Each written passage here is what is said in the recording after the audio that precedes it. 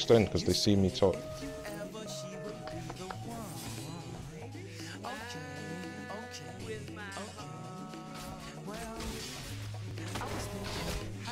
No, you're not annoying me. Uh, I just don't.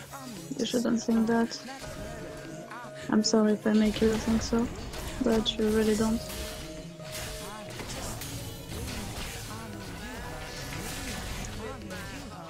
Come on, okay.